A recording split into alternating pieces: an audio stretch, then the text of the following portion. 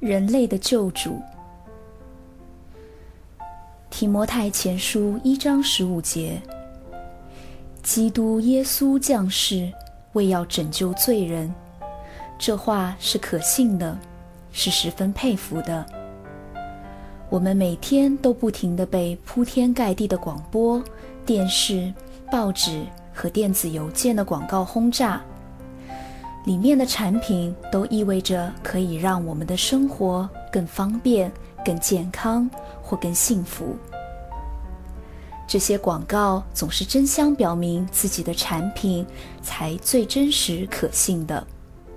然而，很可悲的事实是。这些产品广告最后都纷纷显露出他们的欺诈性，所以毫无惊讶的，如今当人们再听到这类消息，有提高他们生活质量的革新产品出现时，已经是抱着非常怀疑的态度了。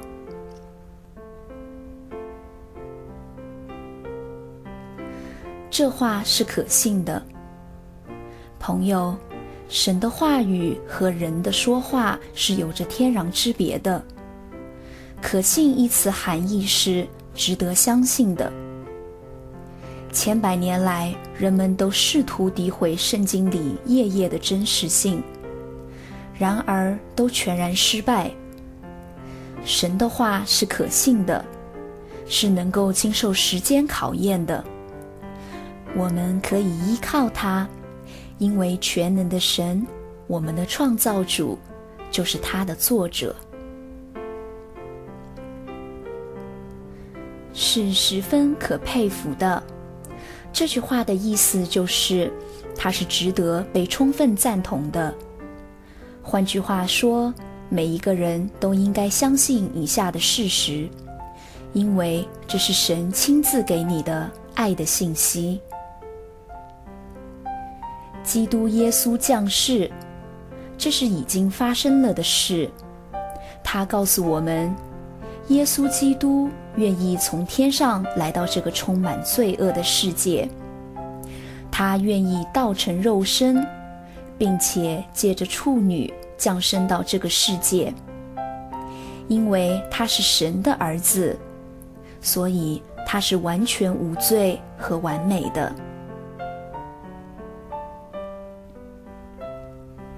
基督就是被任命的意思，也就是说，主耶稣是神特意派来到这个世界，成为全人类的救主。世界，这是一个拒绝耶稣基督的世界，一个被罪恶损毁和破坏的世界。这是一个里面的居民，他的受造物都说。定他十字架，定他十字架。我们不要这个人来做我们的王。这样的世界，拯救罪人，他来拯救的不仅仅是道德行为高尚的人，而是那些杀人的、贩毒的、醉酒的、卖淫的、成瘾的、嗜赌的。偷盗的、抢劫的和说谎的人，我们全部都有罪。或许我们的罪不是像上面所列举的那样，但是我们的思想很容易就暴露出我们是罪人。